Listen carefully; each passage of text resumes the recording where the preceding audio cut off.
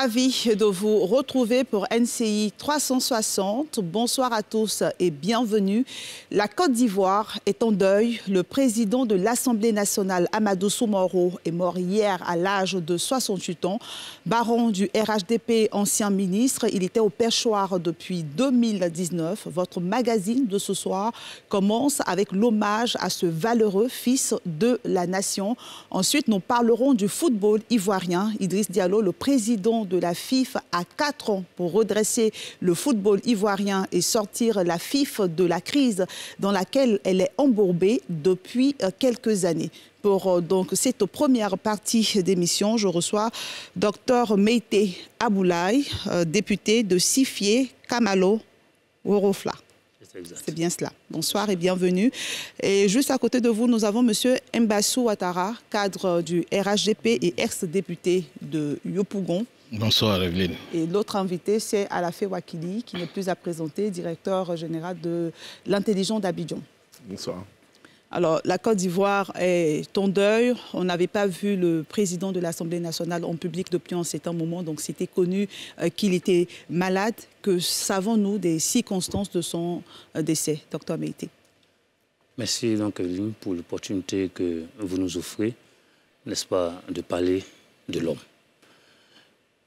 Son Excellence euh, Kamadou Soumaro était un père pour nous. Et je suis très triste, donc aujourd'hui, de parler de lui au passé. C'est une situation euh, difficile pour la nation, mais singulièrement pour le Yoruba et le Vaudougou. Euh, nul n'est sans être ignoré que il était malade pendant un bon moment. Il a lutté. Il a lutté pour rester donc en vie. Malheureusement, le destin, donc on a décidé autrement. Et en tant que croyants, nous nous remettons en Dieu et nous prions pour que son âme repose en paix. Monsieur Ouattara, euh, c'est forcément difficile hein, d'apprendre euh, une nouvelle euh, de ce genre, mais on a bien envie de savoir comment vous êtes senti quand vous avez appris la nouvelle. merci bien, Evelyne. Avant tout propos, je voudrais présenter mes condoléances au président de la République, son Excellence Alassane Ouattara, au RHTP et à sa famille biologique, ainsi qu'à tous ses amis, tous ceux qui l'ont connu, qui l'ont côtoyé. Je veux dire qu'une telle nouvelle euh, vous amène forcément à revisiter votre parcours. Euh, il est difficile, comme euh, l'honorable vient de le dire, de parler de lui au passé, tant l'homme était engagé. Vous avez suivi, vous avez lu, vous avez pris connaissance certainement du message que le président de la République a adressé à l'occasion donc de ce triste événement, mhm. parce que l'homme était un homme engagé, euh, un homme de conviction, un combattant, euh, l'honorable l'a dit, combattant sur la scène politique, mais combattant dans la maladie, qui finalement donc, euh, a eu raison de lui. Donc ça a été une occasion pour nous de révisiter parce que le président l'a dit, c'était un homme loyal. Et sa loyauté pour le président de la République a commencé en ce que nous savons depuis la période de la rénovation au sein du PDCI-RDA. Vous savez que le président de la République, euh, euh, étant par le passé gouverneur de la BCAO, avait été appelé par le président Oufoué Boigny pour euh, diriger un comité interministériel donc, de redressement de l'économie nationale. Puis, plus tard, il est devenu donc le premier Premier ministre donc, de la République de Côte d'Ivoire. Et les relations donc, avec bon nombre de cadres ivoiriens datent de cette période, mais certains bien avant hein, cela. Mais depuis ce temps, jusqu'à son décès, le président Madou Soumaro est resté fidèle, loyal et engagé, passionné du président Alassane Ouattara. Et donc, euh, quand un homme comme lui arrive à partir, vous revisitez votre propre parcours. Nous, nous étions jeunes à l'époque quand le Rassemblement des Républicains est né. Mhm. Nous avons vu avec quelle passion avec quelle fougue, quelle énergie ils se sont mis donc à l'œuvre pour implanter le parti euh, vous noterez qu'il est plus facile de quitter l'opposition pour le pouvoir, mais quitter le pouvoir pour l'opposition, c'est ce qu'eux, ils ont fait à l'époque. Mhm. Pour s'engager donc auprès du président Ouattara dans l'opposition, pour mener le combat jusqu'à ce que la gouvernance du président Alassane Ouattara commence. Donc vraiment, il est difficile de parler de lui au passé. D'accord. À la Wakili, quand on est journaliste, on rencontre beaucoup de personnalités, on côtoie ces personnalités. À quand date votre premier contact avec l'homme? Aussi étonnant que cela puisse paraître, c'est que je n'ai pas eu beaucoup, beaucoup de contacts directs personnels avec euh, le défunt, pour qui j'ai la plus grande admiration et le plus grand estime pas eu beaucoup, beaucoup de contacts personnels avec lui, mais des contacts indirects avec beaucoup autour de lui, beaucoup de collaborateurs et des messages téléphoniques que nous avons eu à échanger. Mais par rapport aux nombreux contacts directs et aux fréquentations importantes que j'ai pu avoir avec euh, les acteurs politiques euh, de tous les milieux, il fait justement partie des personnalités que je n'ai pas beaucoup, beaucoup fréquentées. D'accord.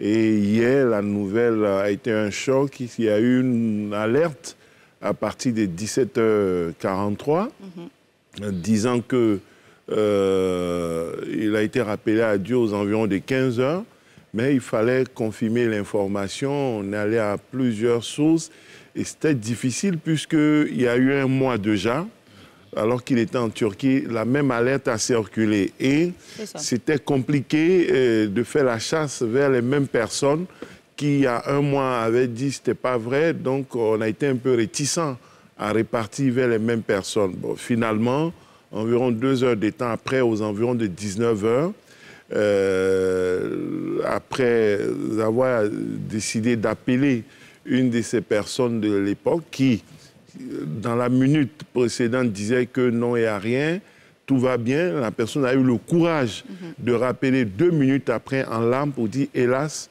euh, votre appel a fait que j'ai tiqué et je suis réparti aux nouvelles. L'information est confirmée. Donc c'est dans ces circonstances-là qu'on a fini par avoir la confirmation jusqu'à l'annonce mhm. officielle euh, au journal sur la RTI. Parlons justement de cette alerte, docteur euh, Meïté. Euh, lors de la première alerte, il y a eu un mois, vous avez fait une, vidéo avec euh, l'homme, vous avez contribué à démentir. Et cette fois, l'alerte d'hier, est-ce que vous êtes en train de vous dire que c'est une fausse alerte? J'ai reçu, ça dit que l'alerte, comme tous les Ivoiriens, mhm. j'étais dans ma région, précisément à Séguéla. On avait donc organisé avec la jeunesse une cérémonie de Sambé Sambé qui marque la fin du mois de Ramadan. Et donc, euh, c'est. Donc, à la suite de ça, on a décidé de revenir donc à Abidjan et c'est chemin faisant que j'ai reçu la lettre. Et sur le champ, j'ai appelé un proche qui m'a dit non, il n'y a rien. Tout va bien. Et quelques minutes après, quelqu'un d'autre me rappelle, vérifie la source de l'information. Je rappelle donc, une autre personne qui me dit, tu es médecin, c'est difficile. Alors là, j'ai... J'étais plus bien.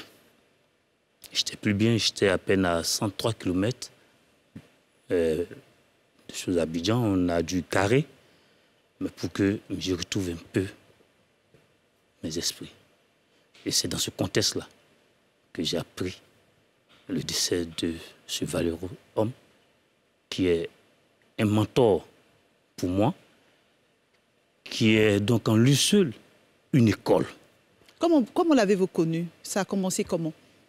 Ben, Nous le connaissons depuis longtemps, mhm. mais nous le pratiquons régulièrement depuis quatre bonnes années. Ok. Je peux vous dire qu'on ne faisait pas une semaine sans s'appeler. Même quand il était donc en Turquie, je peux dire que j'étais l'une des rares personnes qu'il avait, euh, avait donc au téléphone. Parce qu'il il était très soucieux du bien-être de sa population. Et il veut savoir ce qui se passe sur chaque millimètre de sa région. De son district. Et donc, on avait gardé de bons contacts. Et quand il prenait vraiment bon du temps, mais j'ai eu à l'appeler un soir. J'ai dit, je pars en Turquie pour revenir avec toi. Il dit, Aboulaye, je vais bien, je suis en très bonne santé, je viendrai et on se verra. On continuera, c'est que bon, le combat ensemble. Hélas, la mort a eu le dessus sur lui. Ambassadeur Ouattara, vous, vos, contacts avec, euh, avec l'homme, comment l'avez-vous connu? À quel moment êtes-vous devenu proche? Oh, Il faut dire que, euh, comme je l'ai dit tantôt, euh, ils étaient les membres fondateurs du Rassemblement des Républicains. Tout à fait. Mhm. Et donc, en 80, de 1994 jusqu'à 98, nous, nous étions les jeunes donc, du parti. Et nous les avons donc côtoyés depuis cette époque-là. Mhm. Et ensuite, euh, euh, quand il a eu lui-même à exercer le secrétaire général donc, euh, du parti, du Rassemblement des Républicains, nous étions encore là comme des bras, comme des, soldats pour amplifier tous les mots d'ordre du parti. Mhm. Et ensuite, j'ai fait deux mandats de député avec lui à l'Assemblée nationale. D'abord en tant que président, il était donc notre président du groupe parlementaire avant d'être le président de l'institution à partir donc euh, de 2000, euh, euh, de 2019, 2019. président de l'institution. nous avons connu un homme, un travailleur, un travailleur de, disons, de, de l'ancienne classe politique. L'ancienne classe politique, c'est cette classe politique qui vous met à l'épreuve.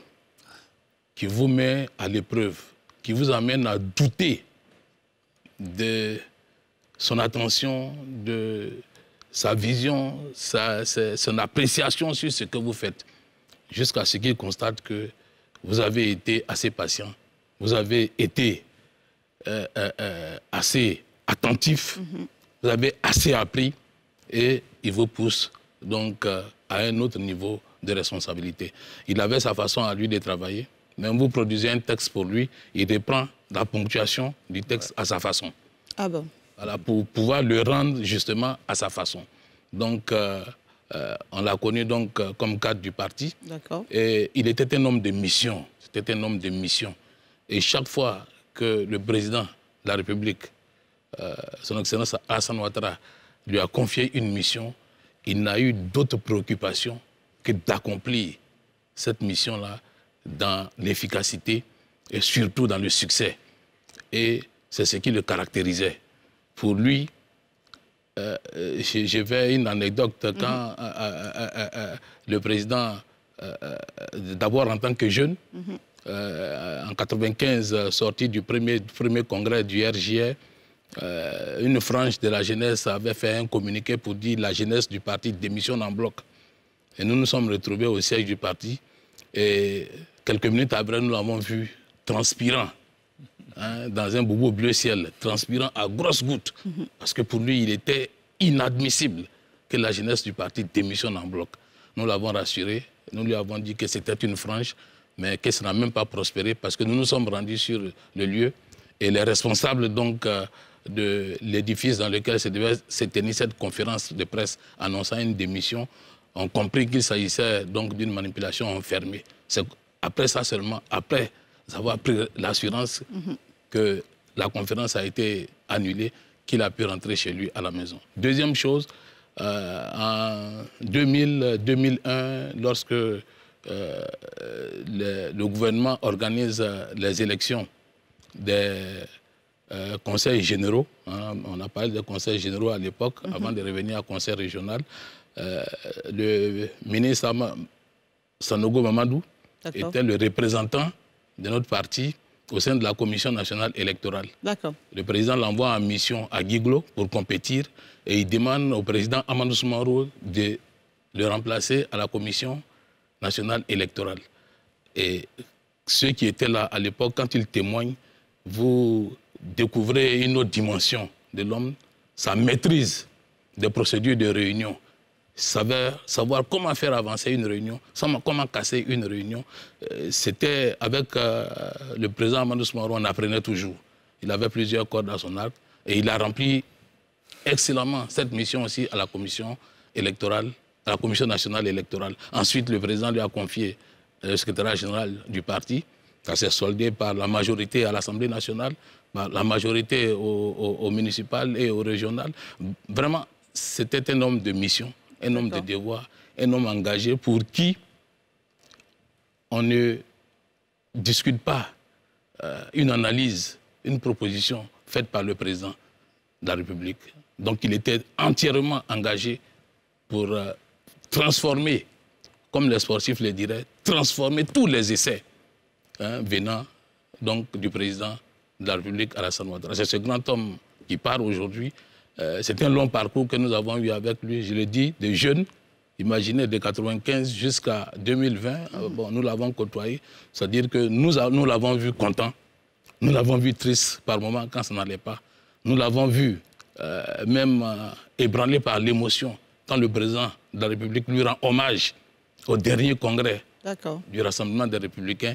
C'est toute une vie, c'est un livre, Amadou Moro un homme, un, homme, de, un homme de, mission. Je, vais me tourner vers vous, à la fin, ne, ne serait-ce que pour votre regard sur euh, son passage à, la présidente de, l'Assemblée nationale.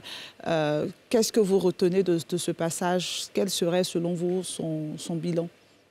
Son bilan, il a eu une fin de mandat, il a eu un début de mandat. Mm-hmm. Donc, ça fait au total trois ans en moyenne. Ça, il a terminé un mandat et puis il a, lui, son, son propre mandat qui n'a pas pu terminer. Donc, on, retient que l'hommage euh, lui est rendu de façon unanime, d'abord en sa qualité de président d'institution, mais en même temps, on voit que au-delà de son attachement au RHDP, au RD ensuite au RHDP, de son inflexibilité. On peut penser qu'il fait partie des, des caciques. Il a réussi à incarner une forme d'ouverture, une forme d'ouverture quand même, euh, qui peut étonner dans le contexte. C'est vrai qu'il y a eu les, batailles euh, de, de bureau à l'époque lorsqu'il est venu, mais c'était aussi des questions de principe je crois, euh, tout le monde n'était pas content, tout le monde ne s'est pas retrouvé dedans. Lui défendait euh, les intérêts de son parti et la primauté, éventuellement, la suprématie du RHDP. Par la suite, il y a eu des négociations et euh, cette année, le bureau s'est formé, en 2021, l'an passé, le bureau s'est formé avec moins de tensions, mais toujours quelques mécontents. Mais dans l'ensemble, il apparaît euh, sous un regard d'ouverture et de rassemblement dans l'ensemble, au moment où il y a les réactions qui fusent et on retient que malgré euh, son attachement indiscutable au RD, au RHD, au président Alassane Ouattara, il a réussi à incarner euh, cette posture-là, comme on a un témoignage d'un député du PDCI qui dit qu'il aimait le chahuter. Chaque fois il le voyait, il dit « Akoto, ça va ?» Eux le vieux, c'est-à-dire parlant du président Bédier, il va bien. On se souvient qu'il a eu par le passé, comme tout le monde d'ailleurs, le président Bédier a été président de la République, ils étaient tous PDCI. Par rapport à son parcours, on ne le dit pas souvent, euh, le fils d'un père qui fut proche d'Oufoué-Boigny, qui fut une figure historique aussi du PDCI dans sa région. Donc il y a eu toutes ces opportunités-là qui ne pouvaient que le contraindre à un peu cette ouverture, malgré l'apprêté du monde politique, du champ politique, on retiendra aussi qu'il fut un moment où il a eu d'excellents rapports, il avait d'excellents rapports aussi avec le président Laurent Gbagbo, qui lui a rendu hommage, dont il fut également un collaborateur. Euh, j'aimerais dire aux téléspectateurs que vous avez la possibilité euh, d'appeler pour euh, un témoignage sur la vie du président de l'Assemblée nationale qui nous a quittés hier. Je me tourne donc vers vous, docteur Meïté, en termes d'anecdotes, de, de, pratiques de l'homme dans l'exercice de ses fonctions. L'honorable est revenu sur un fait. C'est un homme de principe et il s'approprie tout ce qu'on lui envoie.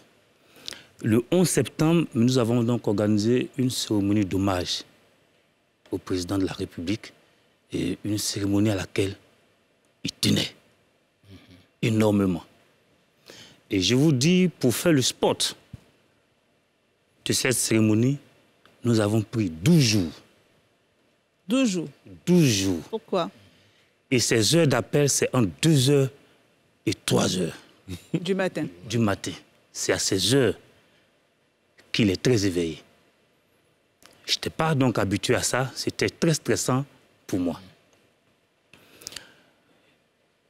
Donc on fait un premier draft qu'on envoie. Il valide. Le lendemain, il dit, j'ai dormi, mais je pense que là, il faut mettre, que la virgule à ce niveau. Et on a changé le même test pendant deux semaines. Et on était pratiquement à quatre ou cinq jours de la cérémonie. J'ai fait le dernier test que je lui ai envoyé par WhatsApp.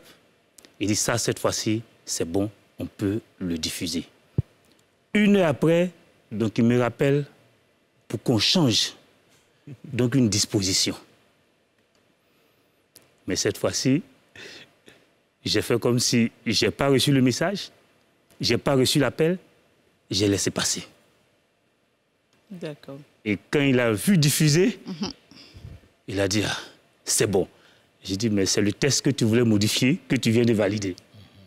Mais pour dire que il s'approprie tout ce qu'on lui envoie. Et tous ses discours, il les lit, il les relit. Mais tant qu'il lit, il modifie, jusqu'à l'heure de le lire. Et donc une chose encore, donc autour de cette même cérémonie, le président de la République, son Excellence, donc Hassan Ouattara, l'a appelé pour lui dire Tu peux organiser ta cérémonie, je compte sur toi. Et il m'a appelé. Il dit Aboulaye, le président vient, vient de me mettre la pression là-dessus. Alors, est-ce qu'on est prêt? J'ai dit Monsieur le Président, nous sommes prêts avec l'implication de tous ces cadres, je pense qu'on est prêt. Et le jour J, ça a été à la hauteur de ses attentes. Et c'est un jour où je l'ai vu très heureux, très épanoui. Et sa satisfaction est notre satisfaction. Cet homme de valeur, d'engagement, de loyauté, ce sont des valeurs que je retiens. Il a une école qu'on appelle le chombisme, C'est l'école de? Du chomba, du président de l'Assemblée nationale. D'accord. Euh, Et, comment on traduirait Voilà. cette école-là? Non, cette école est symbolisée par les valeurs que l'honorable donc a citées. Ok. Sa loyauté, sa fidélité, son engagement et son engagement pour le président de la République est indescriptible. Est indescriptible. Et ce sont des valeurs qu'il nous laisse. Et nous allons les faire miennes. Vous savez, c'est avec beaucoup d'émotion que je parle parce que ces derniers moments, j'ai eu vraiment cette occasion d'être proche de lui. Et je retiens que le bien d'un homme de valeur. Tout à fait.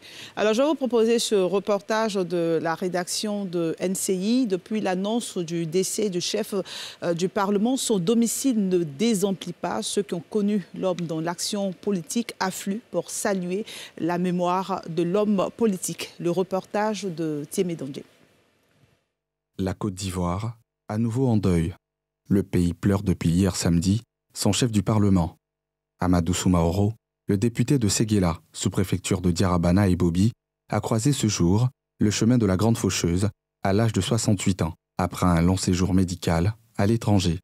Il lâche ainsi le président de la République Alassane Ouattara, dont il était l'un des fidèles parmi les fidèles. Depuis l'annonce du décès, son domicile, à Cocody Riviera Beverly Hills, ne désemplit pas. Ceux qui ont connu et côtoyé l'homme dans l'action politique affluent pour saluer la mémoire du politique intrépide, toujours prêt à aller au charbon pour la cause de son mentor. La nouvelle m'a choqué énormément. C'était un combattant. Pour le parti, je ne sais pas comment vous dire la perte. Euh, c'était un bouclier pour le président de la République. Le décès de Amadou arrive 14 mois après celui d'Ahmed Bakayoko. La population est très éprouvée par le premier décès. Aujourd'hui, elle est encore plus, plus éprouvée. Mais nous sommes euh, un peuple de croyants. Dieu l'a voulu. Nous sommes ici de passage pour un voyage très court pour aller rejoindre notre Père. Dieu a décidé de le rappeler maintenant. On n'a pas le choix. Il faut qu'on se retrouve euh, entre nous, qu'on descende plus profond de notre foi pour pouvoir accepter déjà le, fait. Et ce dont il a besoin aujourd'hui de notre part, c'est des prières et des bénédictions, et c'est ce que nous allons faire. Vous savez, Amadou Soumaoro, pour nous, c'est un frère. C'est un frère, c'est un ami, c'est un compagnon de lutte au plan politique. Et c'est beaucoup de tristesse. Beaucoup de tristesse. On a été très affecté par sa très longue maladie. Et la seule chose qu'on puisse faire aujourd'hui, c'est prier pour lui, prier pour le repos de son âme, prier pour ses enfants, sa famille, ses proches. Nous avons euh, accueilli avec beaucoup de tristesse sa disparition euh, hier. Euh, c'était un homme de conviction. Tout le monde le connaît en Côte d'Ivoire comme un militant chevronné qui défend avec beaucoup d'audace beaucoup de responsabilités et les valeurs auxquelles il croit, qui a apporté une contribution très appréciable au parcours du RDR d'abord et du RHDP aujourd'hui.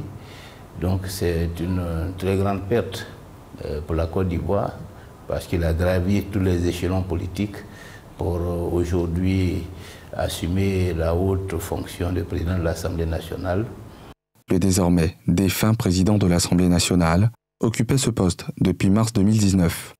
Bien avant, le membre fondateur du Rassemblement des Républicains RDR, prénommé Chamba, dont il fut secrétaire général par intérim de 2011 à 2017, a dirigé la commune de Séguéla de 1996 à 2013.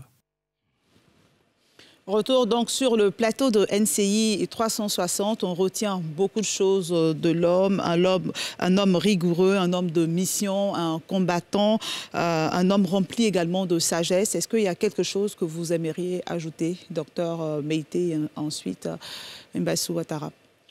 Ben, Moi, je vais terminer. Outre les valeurs que nous avons citées, quelqu'un l'a dit, nous sommes des croyants. Dieu donne, il le reprend. je vais vous conter des échanges entre la vie et la mort. Mhm. La mort qui demande à la vie, pourquoi est-ce que je suis tant détesté?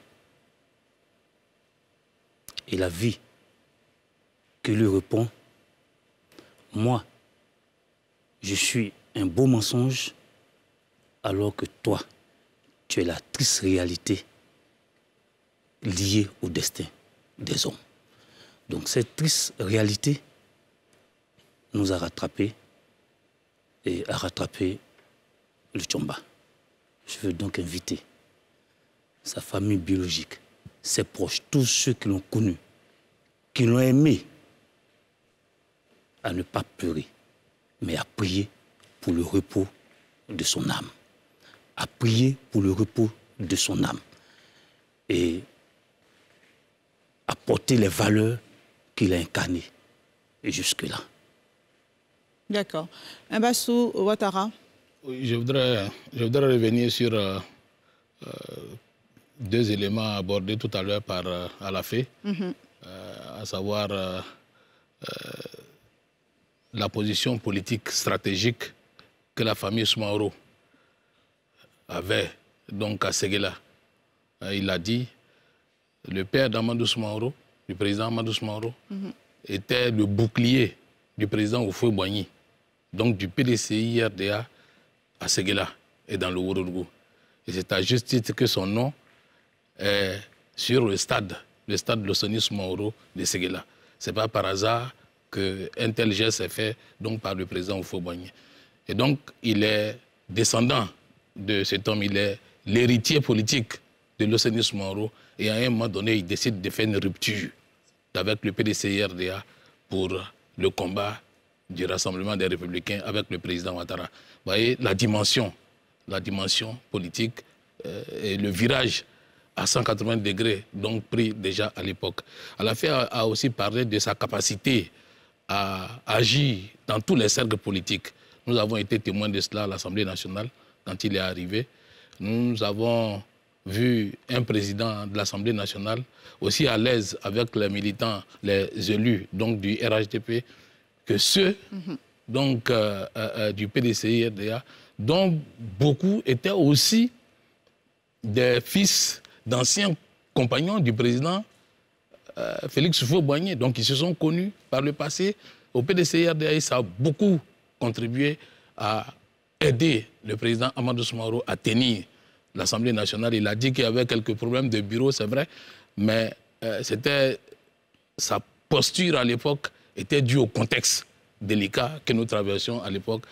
Donc il agit toujours par rapport au contexte et il prend cette décision toujours dans la droite ligne des missions que le président de la République lui a confiées. Donc il faut remercier l'homme pour son parcours, remercier l'homme pour son apport à la Côte d'Ivoire, remercier l'homme pour son apport à Séguéla, au Ourougou, et prier, comme mon collègue l'a dit, pour le repos de son âme.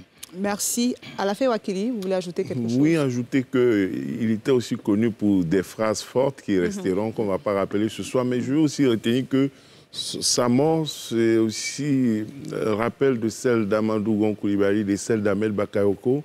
C'est aussi la fin peut-être d'une catégorie, d'une certaine race d'hommes politiques euh, très fidèles au président Alassane Ouattara, qui n'avaient pas ouvertement ou a priori de plan B.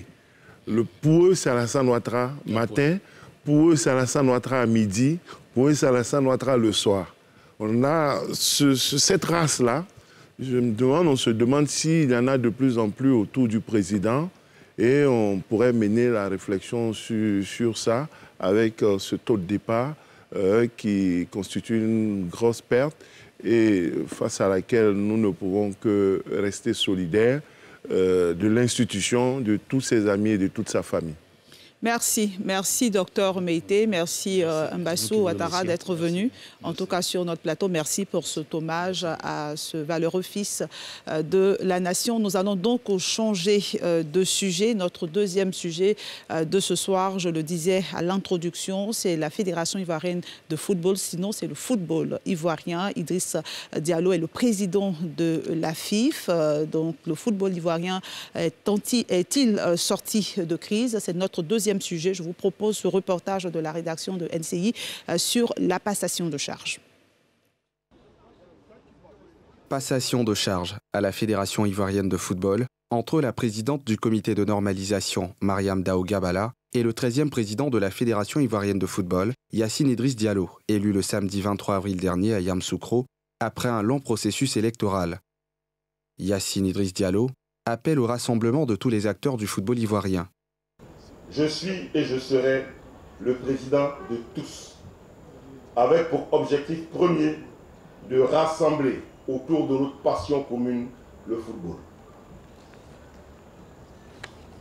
Les jours élec- électoraux sont terminés. Il n'y a plus de place pour la division. Un de mes engagements de campagne prévoyait un comité exécutif de 25 membres. Je souhaite donc, à l'occasion de la prochaine Assemblée générale extraordinaire, proposer aux membres actifs cette modification qui permettrait de passer de 20 actuellement à 25 et les 5 nouveaux membres seront 3 issus de la liste de Sori et 2 issus de la liste de Didier pour venir nous rejoindre. Le nouveau président de la FIF a dévoilé des noms des acteurs de premier plan de la Fédération ivoirienne de football, notamment le directeur exécutif. Je procéderai à la désignation du directeur exécutif et à sa nomination, qui est Armand Gourou. Je nommerai donc l'aîné Salih Bictogo, président de la Ligue professionnelle. Je nommerai aussi le député maire de Gagno Aïssouf, Diabaté, président de la Ligue amateur.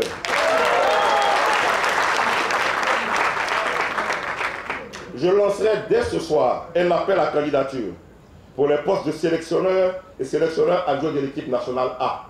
Nous avons un défi majeur important. On ne peut pas prendre des décisions dans la précipitation. Donc on va faire un appel à candidature et nous allons choisir, je dirais, les entraîneurs qui accompagneront notre équipe dans le cadre de la Cannes 2023 et après. La présidente du comité de normalisation, en fonction depuis janvier 2021, est revenue quant à elle sur les grands axes de sa mission, entre autres le toilettage des textes, des réformes juridiques, administratives, avec la mise en place d'une assurance pour les joueurs et les encadreurs. Retour sur le plateau de NCI 360 avec de nouveaux invités pour parler du football ivoirien. Je reçois donc Zoom Diakité, journaliste sportif. Bonsoir Zoom.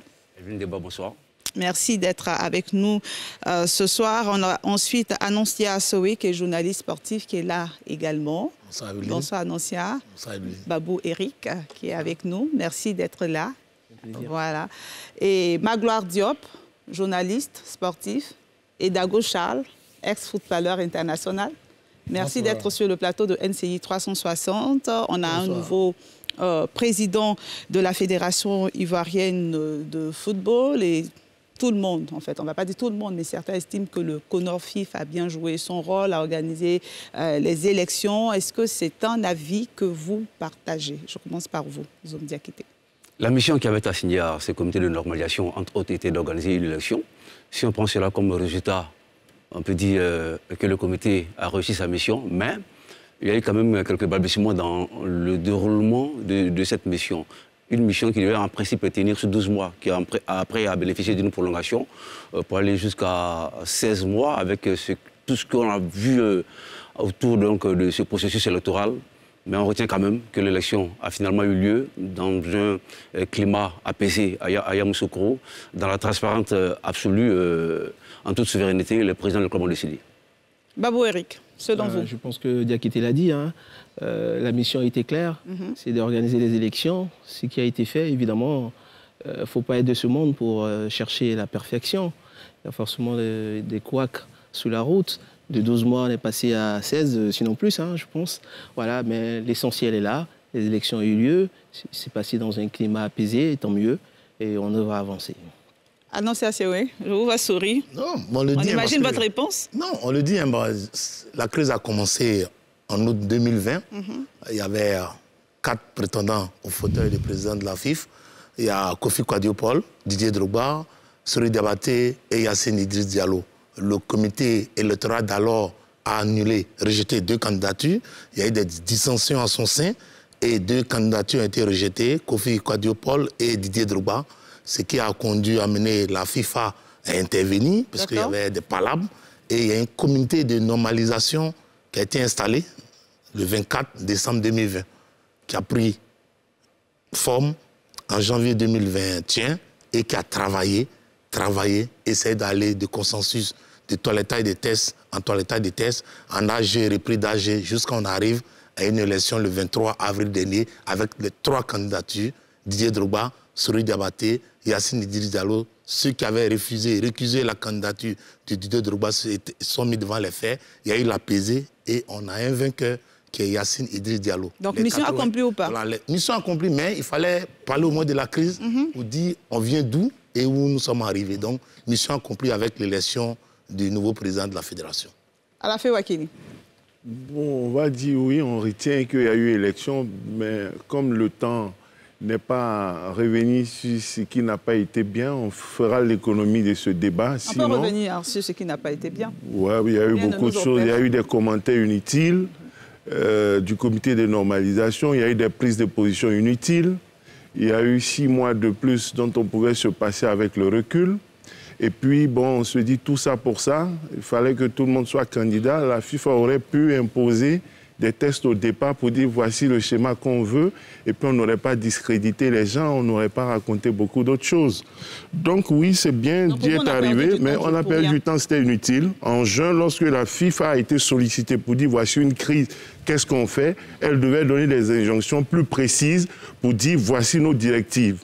Vos tests ne sont pas bien, faites-les tels de cette façon, et puis mettre en place un comité électoral au lieu d'un comité global de normalisation pour gérer les affaires courantes sans aucun mandat. Parce que c'était une crise électorale en mettant en place un comité électoral.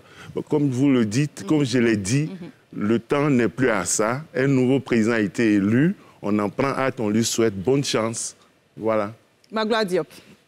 Oui, euh, Evelyne, euh, moi je, je garde euh, euh, un souvenir très douloureux du passage de ce comité de normalisation à Fédération. Douloureux ah Oui, douloureux parce que euh, pour moi, ce comité de normalisation n'a pas réussi à, à pacifier euh, l'environnement du football ivoirien, notamment de la fédération. Pas réussi à, au contraire, le comité de normalisation, pour moi, a jeté de l'huile sur le feu. Et puis, il y a eu trop de dérives dictatoriales. Il y a eu trop de dérives dictatoriales. parmi les missions du comité de normalisation figurait notamment celle de de, faire réviser euh, les textes de certaines parties prenantes. Donc euh, là, on a compris que c'était notamment le cas de l'Africa Sport et de l'amicale des habits de football de Côte d'Ivoire, la Marcy. Et là, ça a été vraiment, c'est un, passage en force que le comité de normalisation a opéré. Et ensuite, euh, pour parvenir à cette élection-là, on est allé de rebondissement en rebondissement de, de, de, comment on appelle, euh, on a dû refaire une assemblée générale. Ça a été, l'accouchement a été très difficile parce que le comité de normalisation n'a pas bien travaillé. Il n'a pas bien travaillé sur quel plan selon il n'a pas bien travaillé, je vous l'ai dit. Les conditions dans lesquelles euh, l'Africa Sport euh, le dossier de la, les conditions dans lesquelles le dossier de l'Africa a été géré et le dossier de l'AMAFSI a été géré, j'estime que c'est une dérive dictatoriale. C'était des conditions, pour moi, c'est des passages en force qui ont été opérés au niveau de l'Africa Sport et de l'AMAFSI. Et j'ai dit que pour que les élections aient lieu, même la veille des élections, jusqu'à minuit, on était encore dans des supputations. Evelyne, vous le savez très bien. Et dans ces conditions-là, moi, je ne peux pas donner un carton vert à, ces personnes, on a eu l'impression que euh, la volonté d'organiser des élections justes, transparentes, équitables, ouvertes n'était pas là, mais plutôt que euh, ce comité de normalisation, on lui a forcé la main.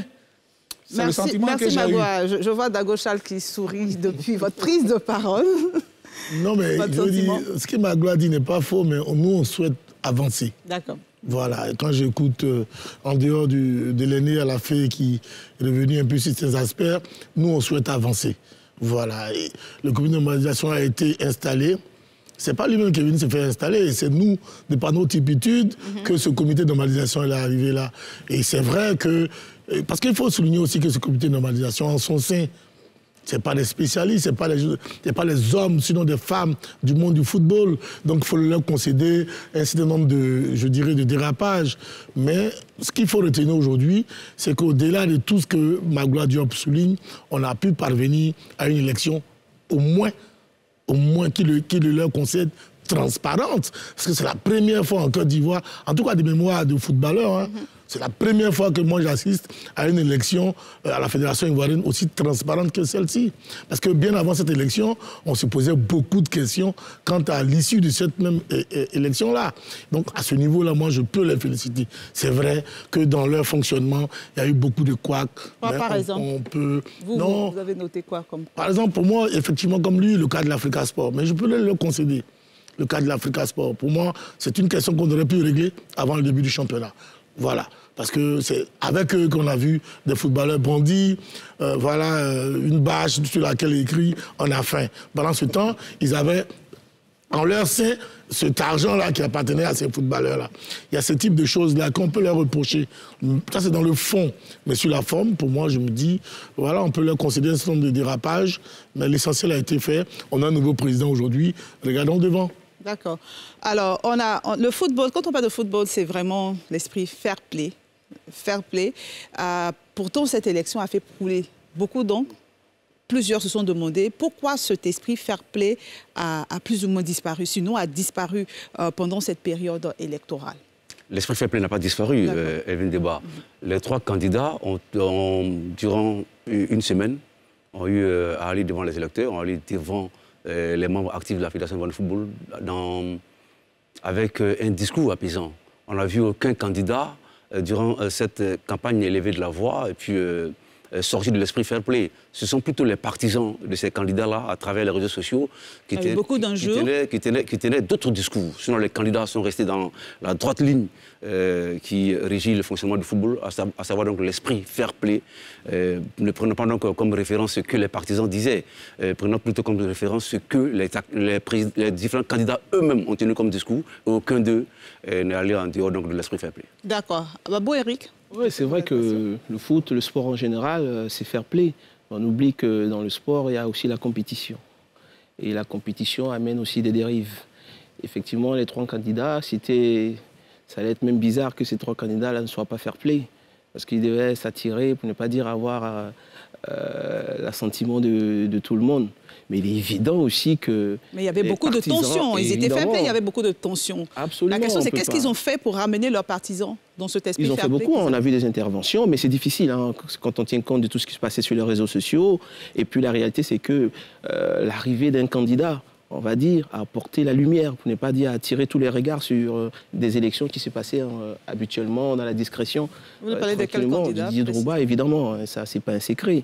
C'est lui qui a apporté la lumière, qui a attiré tous les regards sur cette élection. Et donc, évidemment, derrière, quand on dit Drouba, il y, a du monde derrière. Donc, le peuple ivoirien a suivi cette élection pour peut-être la première fois hein, dans l'histoire du football ivoirien. Tout le monde était focus, a suivi cette élection-là. Et donc, on voulait savoir, effectivement, quel est le candidat qui avait le meilleur profil, qui avait le meilleur programme pour le bien-être du football ivoirien? Maintenant, évidemment, il y, a, forcément des dérives. Et donc, on ne peut pas l'amputer forcément aux candidats. Je pense que tu as essayé de calmer mhm. l'ardeur de, leurs partisans. Mais évidemment, il y a eu beaucoup de dérives. On, est, on a passé le Rubicon. D'accord. Avant de continuer avec les autres euh, invités sur ce plateau, je vous propose de faire une courte pause.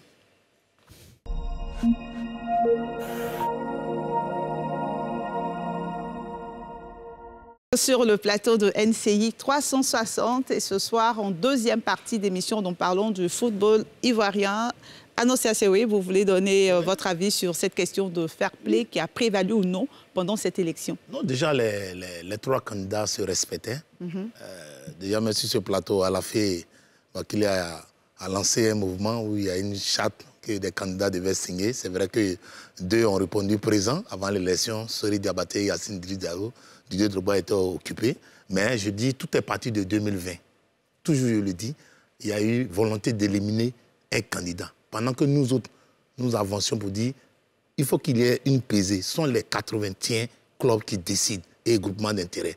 Des gens ont voulu écarter Didier Drogba de la campagne. Ça a une faveur. La population s'est réveillée pour dire on veut écarter un ancien footballeur qui a, qui a porté les couleurs nationales, qui a tout fait. Et à la fin, aujourd'hui, deux ans après, il y a eu vote, il a perdu, il est venu en troisième position. On s'est dit, tout ça pour ça, il fallait avoir la pesée pour qu'on soit tous au même niveau euh, de, compréhension. Donc je dis que le fair play a prévalu entre les trois candidats qui se respectaient. Maintenant, la faveur, c'était sur les réseaux sociaux avec des sorties, là, des clashs, ainsi pas. Mais aujourd'hui, tout est descendu. En réalité, le nouveau président élu. En tout cas, aujourd'hui, on, a un nouveau président qui a beaucoup de, défis euh, devant lui. On va commencer, euh, par exemple, lors de la passation de charge de, son discours, de ce qu'il a annoncé. Le premier acte posé, il annonce euh, l'appel à candidature pour le choix du sélectionneur. Et j'aimerais bien sûr avoir votre avis dessus, en commençant par Dago Chal. selon vous, quel est le profil qui conviendrait à la Côte d'Ivoire? Le profil qui conviendrait à la Côte d'Ivoire quel est le type de sélectionneur qu'il nous faut? Écoutez, les sélectionneurs foisonnent, hein, il, y en a, il, y en a, tellement. Non, mais moi, je ne pense pas qu'il y ait un profil véritablement spécial mhm. euh, pour les éléphants. Ils sont tous diplômés. Je pense que les diplômes qui sont requis pour être entraîneur d'une équipe nationale. Et tous les sélectionneurs du monde ou de la Côte d'Ivoire, les entraîneurs, sont capables d'entraîner l'équipe nationale de Côte d'Ivoire. Seulement, si je me, je me réfère à, ces garçons, à nos garçons qui ont joué la dernière Coupe d'Afrique, Celui qu'il nous faut aujourd'hui, c'est celui qui est capable d'analyser un match et faire la synthèse et de proposer le contre-pied de l'adversaire euh, que l'adversaire propose. Parce que c'est ça qui nous a manqué avec Baumel. Parce que pour moi, j'avais l'impression qu'il ne savait pas lire les matchs au point de ne pas pouvoir se projeter sur le prochain adversaire. Si on a un tel, un tel sélectionneur qui sait tactiquement lire les matchs pour permettre à ces garçons-là de franchir un palier, je pense que ce sera vraiment du bonus pour nous parce que nous disposons des garçons dans tous les compartiments du jeu qui ont du talent et donc qui ont besoin juste d'avoir un sélectionneur qui puisse leur permettre de franchir un palier. Je vous espérer qu'à travers cet appel, à, cet appel à candidature, ils vont véritablement euh, trouver l'entraîneur qu'il nous faut. Parce que je ne souhaiterais pas, et je, ça fait la, le deuxième plateau où je le dis, qu'on revive euh, un appel à candidature qu'on a déjà vécu et qu'on nous dise que dans l'entraîneur souhaité n'a pas candidaté, donc on va le chercher personnellement quelque part. Ça voudrait dire que la politique en elle-même, cette volonté d'avoir, euh, de faire, d'appeler à une candidature n'est pas une bonne politique. Autrement dit, prendre son courage à deux mains. Quand on a été élu président de la Fédération ivoirienne de football, prendre son courage à deux mains et désigner son entraîneur pour en tirer euh, les conséquences euh, voilà, en tant que président. D'accord. Magla Diop et ensuite Babou Eric qui veut réagir. Le président Idriss Diallo a, souhaité un attelage, si on, reprend son, son terme. C'est ça. Voilà, un attelage. Mais bon, quand on voit l'attelage, c'est un peu des personnes qui sont un peu au même niveau et puis bon, qui tirent mais je ne sais pas si euh, le principal et l'adjoint seront au même niveau. Déjà, même quand on dit un principal et un adjoint, sont pas déjà au même niveau. Mais je vais dire que. Mais de ce qu'on a lu, je, vais vous permettre de continuer. de ce qu'on a lu dans l'interview accordée à nos confrères de Jeune Afrique, il a parlé d'un duo euh, de coach, un coach étranger qui a des solides références et, et ivoirien qui possède des diplômes d'entraîneur. Oui, c'est sa vision. C'est sa vision que je ne partage pas, mais je la respecte. C'est sa vision. Moi, j'aurais souhaité que euh, tout le staff technique euh, soit constitué de nationaux, parce que j'estime qu'on a les compétences sur place. On n'a pas besoin d'aller chercher ailleurs. S'il voulait faire un appel à candidature, j'aurais voulu qu'il l'ouvre uniquement aux, techniciens ivoiriens, peu importe la couleur, pourvu qu'ils soient ivoiriens, c'est-à-dire la nationalité. c'est ce que moi j'aurais souhaité. Je voulais parce qu'il y en a. Les analystes vidéo ivoiriens, il y en a tous les entraîneurs ivoiriens qui sont là, ils ont les diplômes pour entraîner cette équipe nationale-là. Mais c'est simplement, je note que le nouveau président n'a peut-être pas confiance euh, en ces techniciens qui sont là, ou qu'il estime qu'ils n'ont pas encore le profil pour diriger cette équipe nationale. C'est vraiment dommage. Mais lui et moi, on n'a pas la même vision. C'est sa vision, c'est lui le président. Je la respecte. J'espère seulement que son appel à candidature ne sera pas euh, euh, ne sera fructueux. Parce que, selon ce que Dagochal dit, il y a des appels d'offres qui ne sont pas concluants aussi. Hein. On peut, on peut ne pas recevoir de bonnes offres et puis euh, annuler l'appel aussi, ça c'est possible. J'espère qu'il va trouver un bon entraîneur qui va nous faire gagner la Cannes 2023. Vous parlez d'un sélectionneur national. Est-ce que vous avez des noms en tête, des personnes que vous visez? Ben, Vous savez, quand nous, journalistes, commençons à donner des noms, hmm. on, trouve tout de suite que nous sommes en train de faire du lobbying. D'accord. Voilà.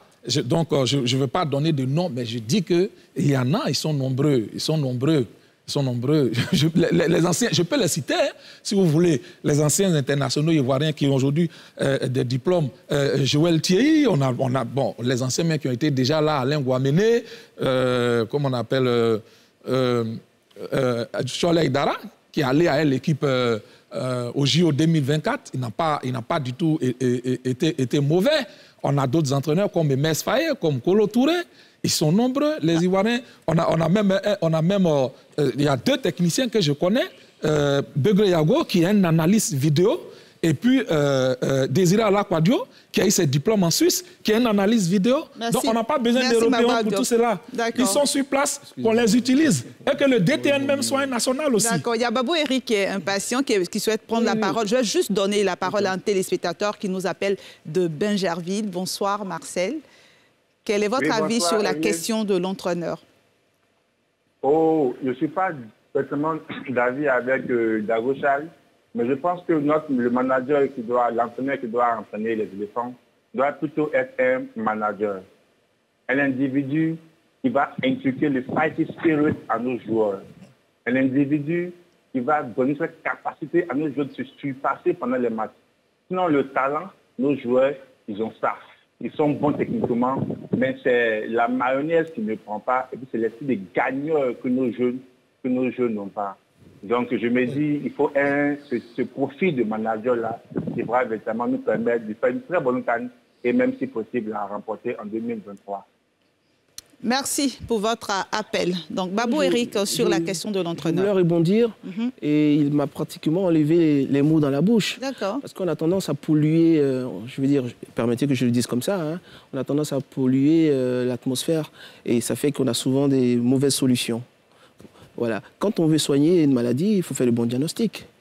On sait les problèmes de notre équipe nationale, ce n'est pas technique. Tous les entraîneurs ont pratiquement les mêmes formations, que ce soit euh, ivoiriens, européens, ce sont les mêmes formations. Quels sont les problèmes que rencontrent nos joueurs? C'est ce qu'il vient de dire. Notre problème est mental. C'est ça qui fait la différence. Sinon, techniquement, nos joueurs sont doués. Tactiquement, on peut trouver un entraîneur, tu peux mettre toutes les tactiques en place. Mais qu'est-ce qui fait que souvent on n'arrive pas à passer ce dernier, euh, ce, dernier pas, ce cap-là, contrairement au Camerounais C'est le mental, le fighting spirit, cette euh, rage de vaincre. Quand on a fini de faire ce diagnostic-là, on cherche l'entraîneur. tu peux inculquer ça à nos joueurs. Et quand vous faites un appel d'offres comme ça, vous aurez des entraîneurs qui sont bardés de diplômes. Mais est-ce que ces entraîneurs-là, ils ont cette capacité-là d'inculquer cette rage-là à vos joueurs? Est-ce que vous avez cette garantie-là? Et donc après, vous allez vous retrouver, comme Dago Charles l'a dit, avec des candidats qui ne remplissent pas le cahier des charges. Vous, il aurait fallu faire quoi? Mais je pense mhm. que le président de la fédération, avec euh, le diagnostic que moi, en tout cas, je pose, hein, ça peut être un diagnostic différent, mais je pense que c'est le bon. D'accord. Il devra lui prendre ses responsabilités et trouver l'entraîneur. Tu pourras remplir cette case-là. Simplement, formation égale tactique, physique, technique, tous les entraîneurs peuvent. Mais quel est ce joueur-là a ce petit truc que Hervé Rina a inculqué aux joueurs que Zahir François aussi, à un moment, a inculqué. C'est ça qui manque à notre équipe nationale. Et ça, ce n'est pas un appel en candidature. Hein. Il faut aller chercher celui-là. Zoum Diakité, ensuite, ensuite annoncé à Séoui. On a deux appels d'offres qui ont été lancés. Mhm. Le premier pour euh, le choix du sélectionneur et le deuxième pour le choix du sélectionneur adjoint. Moi, personnellement, ça me pose un problème. J'aurais aimé qu'on lance un appel d'offres pour trouver un sélectionneur qui arrive et puis qui met en place son staff technique.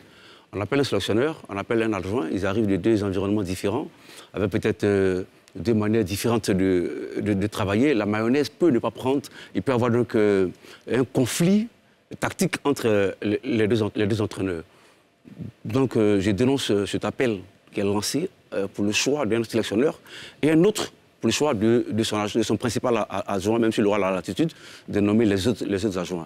Et puis, comme euh, les, autres, les, autres, ont dit, hein, il nous faut un entraîneur qui maîtrise d'abord l'environnement africain.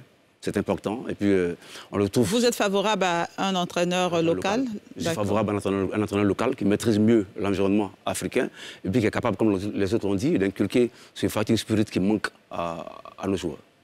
Annonciation, oui. Bon, moi, je, Sincèrement, quand on prend le président, Yacine Diallo, ça fait 40 ans qu'il est président dans le milieu. Voilà, il était là de 2002 jusqu'en 2011 avec euh, Jacques Anouma. Il maîtrise, comme on le dit, les rouages du football ivoirien. Lorsqu'il a parlé d'appel à candidature, l'appel à candidature pour le sélectionneur est même ouvert pour les nationaux. C'est l'appel à candidature pour l'adjoint qui veut un technicien local. Donc lorsqu'il le dit, et puis moi, j'ai eu la chance d'échanger avec eux. Quand on lance un appel à candidature, c'est pour voir ceux qui ont envie de venir. Mais le dirigeant a déjà une idée.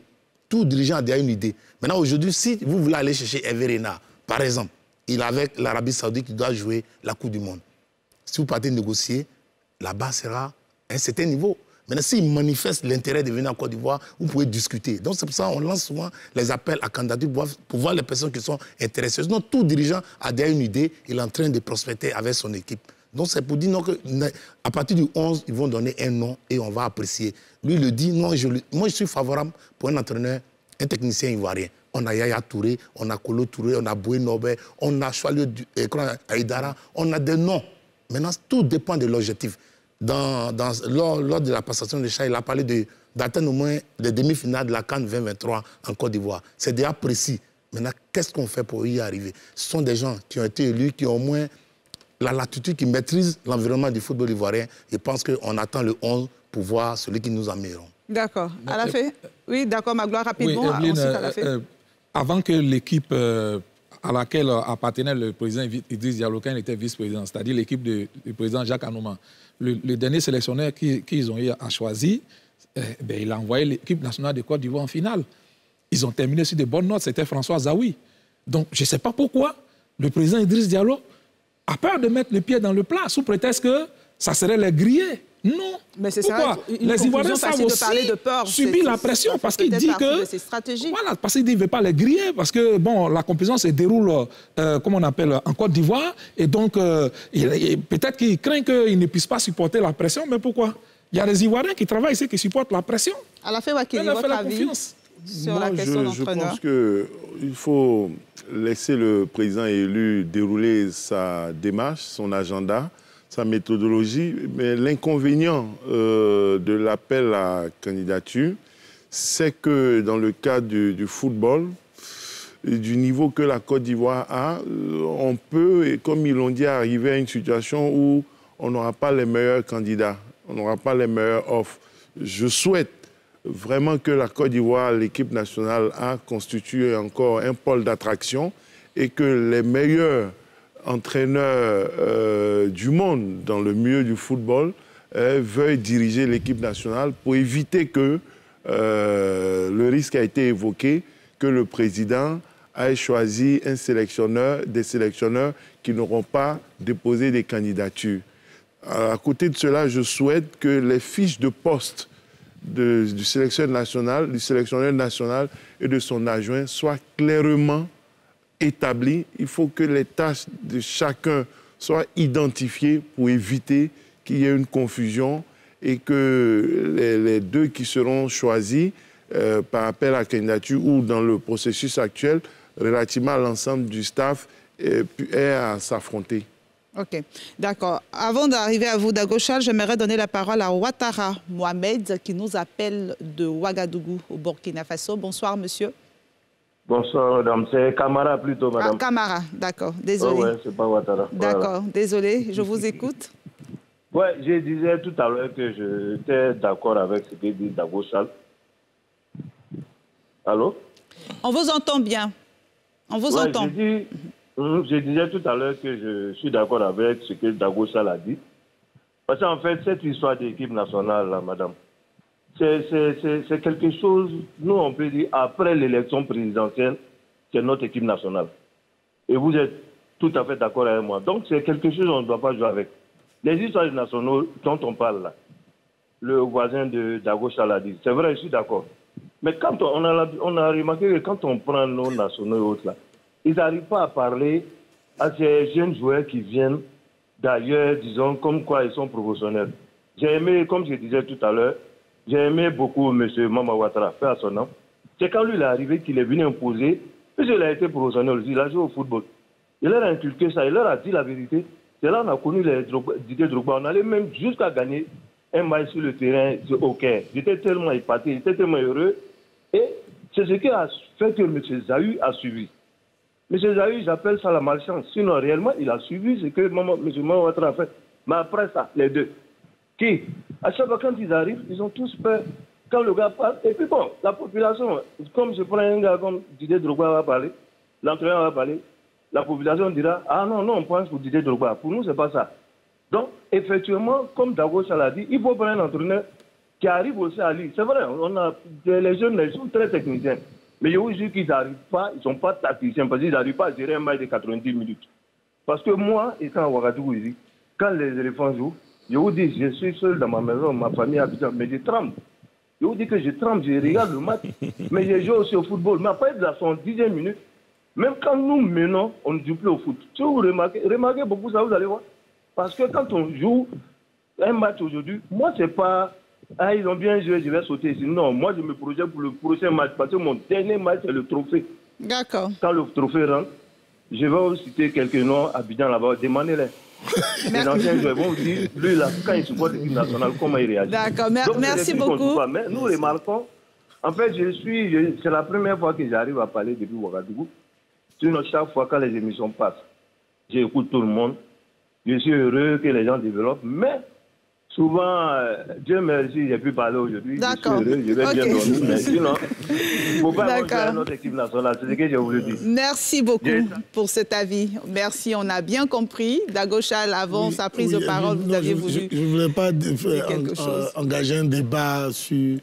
Euh, avec Eric Babou. Encore on est là pour débattre ce soir. Non, non, je ne veux pas un tel débat. Mhm. Ce que je veux dire, je ne veux pas qu'on on pense que des professionnels, nos footballeurs, en tout cas, moi, je n'apprécie pas quand on pense que les footballeurs, quand ils sont sur le terrain, ils ne sont pas déterminés, qu'ils n'ont pas envie, que c'est un entraîneur qui leur donne l'envie. Non, je ne crois pas. C'est leur métier, c'est notre métier. Ils, ont envie de jouer pour les éléphants. Mais c'est un jeu collectif. Ce n'est pas la boxe, nous le tennis. C'est au niveau de la boxe, on peut, te dire qu'il faut avoir du fighting spirit. Parce que vous êtes deux dans le, dans le ring. Si tu ne peux pas, tu ne peux pas. Mais un jeu collectif, quand on parle de tactique, c'est un entraîneur qui permet à tout le monde de jouer de façon synchronisée, en synergie. Et c'est en synergie que vous gagnez. Donc même tu peux être animé d'une volonté, de rage, de vaincre. Mais si vous n'êtes pas en synergie, si vous ne jouez pas ensemble pour gagner, ça va durer une heure ou bien 30 minutes. Après, tactiquement, l'adversaire arrive à vous battre dans les derniers instants. C'est pour cela que moi, je fais cette analyse. Ça, c'est la mienne, qui dit quand on les nos garçons jouer, ils sont trop, trop bons techniquement, physiquement, ils ont le niveau. Parce qu'on ne joue pas au Milan AC, à Arsenal, quand on n'est pas physiquement, tactiquement au point. Mais qui est-ce qui t'accompagne? Parce qu'en réalité, un sélectionneur, quand il vient, il n'y a plus d'entraînement. Parce que les gens pensent que l'entraîneur, le sélectionneur, quand il arrive du lundi au samedi, il fait des entraînements. Non, il ne fait que de l'entretien. Donc tout ce qu'il apporte à l'équipe nationale, c'est sa lecture tactique pour permettre aux garçons de se transcender. Oui, je vais rebondir dessus, effectivement, pour dire que ce qu'on ce qu'on dit, c'est que tous les entraîneurs ont une formation tactique, euh, technique et tout ça. Mais quand je vais donner des exemples précis pour qu'on comprenne ce qu'on appelle le fighting spirit, quand les Camerounais vont gagner euh, en Algérie, c'est pas tactique. C'est pas technique. Oui, la victoire, où ils vont là, ils perdent pratiquement le match. À la dernière seconde, il y a un sursaut qui se fait. Je donne un exemple. Quand Troussier, quand Troussier, entraîneur de, la SEC, décide de prendre Aboulaye et il le met à la touche, c'est pas tactique. Il travaille le mental du joueur. Et quand Aboulaye revient, il apporte un plus. C'est pas tactique. C'est que l'entraîneur, il lit, il comprend la mentalité du joueur. Il sait à quel moment il faut booster ses joueurs. Le discours qu'il tire à ses joueurs peut changer la donne. Quand un entraîneur, il est, on sent qu'il est peureux, tactique est là, technique est là, mais quand il est dans les vestiaires et lui-même il tremble parce qu'il a peur, ça joue sur ses joueurs. On a tous été joueurs, on sait. Un moment où le joueur même il sait qu'il est, il est à bout, physiquement il est fatigué. Mais quand le discours que l'entraîneur lui tient fait que ce joueur-là il prend le dessus, mhm. et puis ça le booste. C'est ça, et ça, dans tous les sports, ça existe. C'est pas qu'au football. Ça existe, il y a des joueurs, il y a des matchs qui sont gagnés au fil, comme ça, à la dernière seconde, parce que ces joueurs-là ont eu un sursaut. C'est pas parce qu'ils sont plus forts, techniquement, tactiquement, mais c'est au mental. C'est ça qu'on appelle le spirit. Annoncez à Oui, à la Cannes, à la, dernière Cannes au Cameroun, lorsqu'on a été éliminé par euh, l'Égypte au, au tir au but, euh, le lendemain de, la défaite, j'ai rencontré Franck Kessier, je salue d'ailleurs, qui me dit on a plus mal, nous les joueurs, plus que vous les, les sportifs ou bien les journalistes. Parce que c'est comme un médecin qui, veut faire une opération. Elle peut réussir comme ne pas réussir, mais on a plus mal. Parce que déjà, il y a des histoires de primes. On est plus motivé. Donc souvent, comme Dago le dit, il y, a, beaucoup de choses qui rentrent en ligne de compte d'une équipe nationale. L'encadrement technique. Aujourd'hui, vous prenez l'équipe nationale, tous les jours, je le répète, on n'a même pas un psychologue. Personne ne motive les enfants. C'est rare. Quand vous prenez les sélections comme l'Espagne et la France, c'est tout un staff. Il y a toute une, organisation. Il faut revenir à la base. Avec le nouveau président, ceux qui maîtrisent vraiment le football, ils sont dedans. Yacine, avec 40 ans qu'il est au football, on pense qu'ils vont mettre les hommes qu'il faut. Parce que là même, on a connu Ericsson pour le mondial. On est sorti avec 4 points. En 2014 au Brésil, à la dernière minute. Mais comment, comme le dit, il y a, ce facteur-là, celui qui a appelé le dit, à partir d'un certain moment, on n'arrive pas à gérer les matchs.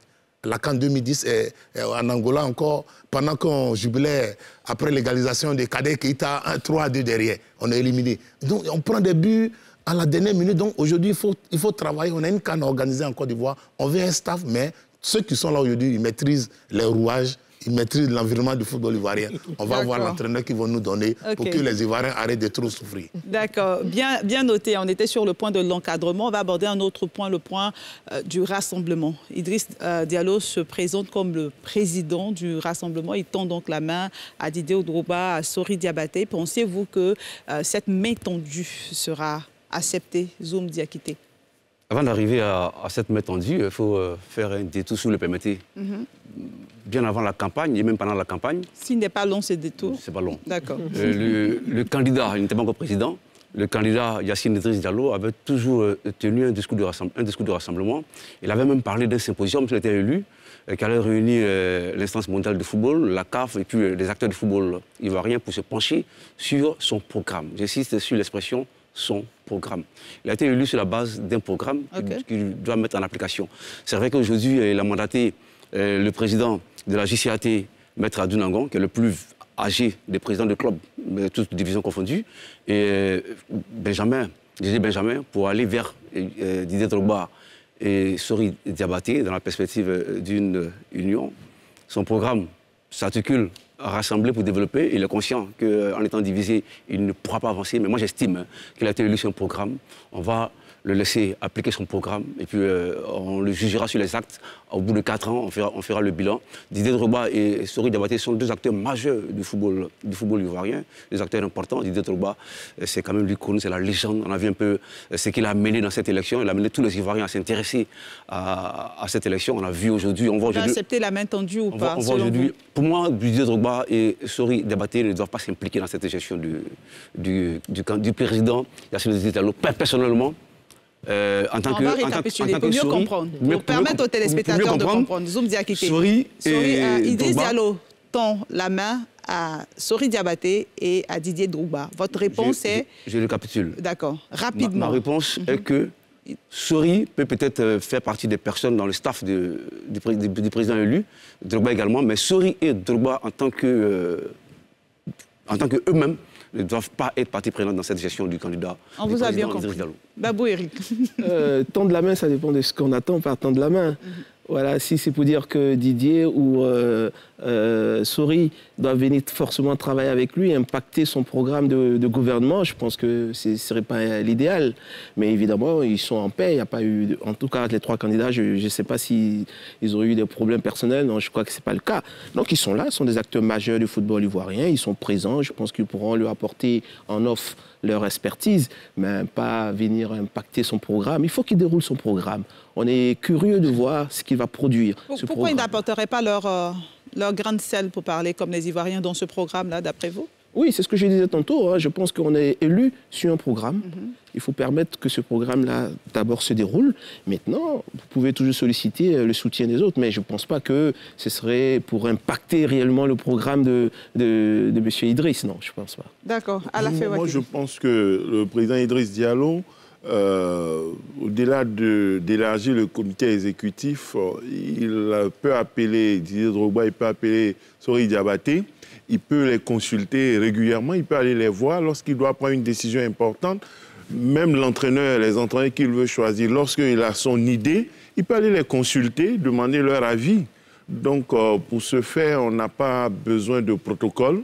Je pense que la possibilité existe que les, les, deux personnalités du monde du football puissent donner leur avis, puissent échanger avec lui et en toute responsabilité, il prendra les décisions qu'il va assumer. Je profite pour réagir sur l'idée, ça a été dit par tous les candidats, mais comment euh, allons-nous passer de 20 membres à 25 membres? Mhm. Et comment allons-nous préciser cela? La prochaine élection, allons-nous partir à 20 membres ou 25 membres en même temps? Cette fois-ci, on passera de 20 à 25. Et on va préciser quoi? Le président désigne librement, comme il veut, les cinq autres membres et l'élection prochaine, cette fois-ci, il y a eu trois candidats. Il veut mettre trois d'un camp et deux de l'autre. Est-ce qu'on spécifie dans les tests qu'à l'issue de l'élection, on passe de 20 à 25 Pour la prochaine élection, on ira à 25 ou à 20, mhm. Donc, je veux voir comment le test sera présenté mhm. pour que lorsque cette fois-ci, on passera de 20 à 25, euh, comment on fera dans quatre ans pour la prochaine élection? Est-ce qu'on attendra la fin de l'élection encore pour passer à 25 ou à 30 ou bien on ira d'abord à 20. Donc il faut qu'on dispose des tests pour l'avenir et de façon claire. Moi, je me pose la question à savoir si on ne peut pas souvent faire simple, ne pas chercher à compliquer les choses. Je pense que Idriss, l'idée de passer à 25, c'est pour pouvoir euh, tendre la main aux deux autres. Je pense que c'est ça l'idée principale. C'est pas qu'il ait besoin forcément de 25 personnes pour travailler. Est-ce que ce ne serait pas plus simple qu'il fasse son boulot avec ces 22 personnes tranquillement et que la prochaine élection, c'est lui qui est élu, il continue avec ses 22, que de chercher des histoires et ouvrir, ça va créer, comme il a dit, on va commencer à rentrer dans des calculs, comment faire des tests pour ci, pour ça. Est-ce qu'on peut pas faire simple? Il a été élu, il a 22 personnes, qu'il bosse. Point barre. Annoncia, c'est oui. Moi, je, je, je trouve qu'il ne faudrait pas qu'on personnalise le débat au niveau du football ivoirien. Je ne pense pas qu'en France, lorsqu'on voit la Ligue 1 ou bien en Espagne, la Liga, la Première Ligue, on est focalisé sur Manchester, euh, United, City, Liverpool. On ne cherche pas qui a été candidat, qui a été battu aux élections. C'est comment le football ivoirien se porte, comment les gens vivent de leur art, de leur métier. Je pense que si le ballon roule, que les, les, les, différents championnats se déroulent bien. Euh, les, les, sponsors sont là. Aujourd'hui, on a l'effet euh, FC de Sassandra euh, qui bénéficie des, des, des, des retombées de l'échec de Didier Drogba euh, le 23 avril dernier, qui a des sponsors. Des retombées voilà. de l'échec ou des retombées oui, de soutien? C'est une vérité. Didier Drogba a échoué, mais qui en profite? C'est un club, le seul club de Ligue 1 qui l'a voté, qui aujourd'hui soutenu par les Ivoiriens, des dons par-ci, par-là. Aujourd'hui, c'est ce qu'on demande. Okay. Je ne crois pas que les, les éléphants vont jouer à Bimpe et que Didier Drogba va faire un message pour dire n'allez pas au, au stade. C'est impossible. Il, il ne pourra jamais le faire non. parce que c'est la Côte d'Ivoire. Il ne faudrait pas qu'on on, on prête des intentions aux gens. Ils sont des Ivoiriens. Sori Diabaté, c'est un Ivoirien qui a perdu les élections à la FIFA. Didier Drogba, c'est un compétiteur, il connaît le match nul, il connaît la victoire, il connaît la défaite. Il va se préparer pour se relancer. Qu'est-ce que Yacine Idriss doit, il doit dérouler son, pro, son programme, pacifier le milieu, comment il peut faire? Parce que je ne crois pas que le problème du football ivoirien se résume à la personne de Didier Drogba et de Sori Diabaté. Ce sont les clubs. Aujourd'hui, les enfants pleurent, ils, ont envie de jouer. Il y a plus de 400 clubs amateurs qui écrivent à la fédération pour ne serait que jouer, voir les championnats. Les ligues jeunes veulent jouer. Les gars payent les licences à 10 000 par joueur, ils ne jouent pas. Il faut que tout ça la prenne fin pour que quand on arrive à Boisson, on va à Bangolo, on va à Korogo, les enfants jouent au football, ils s'épanouissent. C'est ça qui est important. Et il a souligné euh, lors de, de, son audience avec le ministre des Sports, il veut relancer les ligues pour qu'il y ait de l'attraction partout. Je pense qu'on doit regarder on doit suivre son projet. Pour vous, vous pensez que c'est ça le plus avancer. important? Sinon, passer de 20 à 25 membres, quand on a été euh, sous le feu de la FIFA de, depuis un certain moment, il faut rester dans le canevas de la, de, des tests, des nouveaux tests pour qu'on avance. On a bien compris. Dagochal. Oui, moi, je, lorsque, lors de la passation de charge, il a proposé cela, ça m'a fait tic dans la tête parce que je me suis dit, waouh, le président réalise que non seulement il n'a pas battu Soulou Diabaté de beaucoup de points, ne serait-ce que de deux points. Ça deux voix. De deux voix, pardon. Mais en même temps, après le match de la SEC face au Lys, il a réalisé aussi que je, ce que je pourrais appeler le Didier Drogba, président des consommateurs du football. Je dis bien des consommateurs du football. Alors que lui, qui est un homme du, du milieu des annonceurs et des sponsors, il sait bien aussi que non seulement Souri Diabaté a eu 60 voix, donc, un nombre important de membres acteurs. 61 euh, voix. 61 voix des acteurs, un nombre important des acteurs du football ivoirien. Et Didier Drogba a le public avec lui. Donc, moi, je pense qu'il a réalisé que la combinaison de ces deux forces-là pourrait aider, pourrait l'aider à, à, mieux gérer, à mieux mettre en, à chose, en exergue son programme. C'est pour cela qu'il a proposé cela. C'est bien de penser comme ça, si c'était le cas, si c'est tel qu'il avait pensé. Mais au-delà de cette pensée, comme les autres l'ont souligné, il serait préférable qu'il déroule son programme. Parce que les trois autres, ou bien les Quand deux vous dites qu'il déroule son programme, c'est qu'il déroule son programme tout seul, oui, avec son staff, son, son programme équipe tout seul, même si il a compris la portée, euh, l'importance de ces deux, de ces deux adversaires, qu'il déroule son programme. Parce que les trois de Sori ou les deux de Didier ne lui apporteront rien au niveau du comité exécutif. Oui, ils ne vont pas contester les différentes décisions des 20 autres qui sont restés dans la lutte. Hein depuis 2014 pratiquement, parce que c'est pratiquement Magloire Diop l'a déjà signifié sur, sur, son, sur son, son, son, tabloïd. le GX. Donc, ce n'est pas les cinq personnes-là, ce pas ces cinq personnes qui vont venir influencer la mise en place du programme de Idriss. ça, on comprend, c'est votre avis, on comprend et on le, respecte. La question, dans l'autre sens, c'est est-ce que euh, Didier Drogba et Sori Diabaté vont accepter euh, cette main Moi, je souhaiterais qu'ils n'acceptent pas, afin qu'ils ne soient pas comptables de la gestion d'Idriss Yassine Diallo. Ça dépend de comment accepter. Si c'est pour intégrer un comité exécutif, ce n'est pas nécessaire. Mais ils peuvent à leur initiative, dire Ah, président, tu veux faire telle chose, est-ce que c'est bien? Voici ce que moi je souhaite. On souhaite qu'il y ait ce type de change, qu'il y ait ce type d'interaction, et que si ce n'est pas Didier Drogba qui appelle Idriss Diallo, si ce n'est pas Soli Diabaté qui appelle Idriss Diallo, lui-même, il prenne son bâton de pèlerin aille les voir pour leur dire Ah, les éléphants doivent faire telle chose, je veux prendre telle décision, qu'est-ce que vous en pensez? Librement, donnez-moi votre avis. Cette manière-là aussi fait partie euh, de la manière de tendre la main. Ce n'est pas seulement intégrer un comité exécutif qui est la meilleure forme d'accepter une main tendue. C'est contribuer, participer et créer un environnement apaisé ensemble. Très bien. Magloire Diop. Oui, c'est exactement ça, hein, ce qu'elle a fait dit. Pour moi, rassembler, c'est ça. Rassembler, c'est être à l'écoute. Rassembler, c'est être un président ouvert, comme il a dit lui-même, le président Idriss Diallo. Rassembler, c'est consulter. Rassembler, c'est avant de prendre des, grandes décisions, c'est euh, organiser des réunions, réunir les clubs, euh, consulter. C'est ça, pour moi, rassembler et être transparent. Pour moi, c'est ça, rassembler. Et c'est ce que j'attends de lui. Et donc, euh, l'idée du, comité exécutif, les 25 membres, il avait ça euh, pendant la campagne, il avait ce projet. Je pense que euh, euh, euh Sori Diabaté aussi avait ce projet, mais je ne crois pas que aller de 20 à 25, c'était pour faire intégrer les, les, adversaires dans le bureau. Ce n'était pas pour ça. Mais à la fin, on a parlé. Voici le problème que ça va poser. Si aujourd'hui, il fait entrer cinq personnes et que, par exemple, en 2026, il y a une autre personne qui est élu président et que lui, il est candidat, qu'il est battu, il va falloir lui retourner euh, euh, euh, la monnaie par, le bon procédé. Mais on fait comment? Est-ce qu'il va falloir passer à 30 membres encore au comité exécutif? Je pense que tout ça, le comité exécutif, il a son comité. S'il veut passer à 25 membres, il peut procéder à, à la modification des tests. C'est deux tiers.